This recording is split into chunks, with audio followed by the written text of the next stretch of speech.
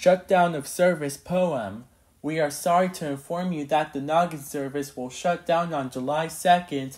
It will remain accessible on supported devices until that date. All billings will stop no later than May 30th from that date. Active subscribers will lose access to Noggin no later than July 2nd.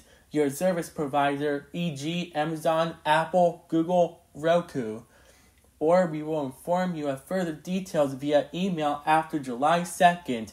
You can access many Noggin shows on Paramount Plus with an active Paramount Plus subscription. After the Noggin service is shut down, you can watch select Noggin video content on Paramount Plus with an active Paramount Plus subscription. Note that the Noggin games and ebooks will not be available on Paramount Plus.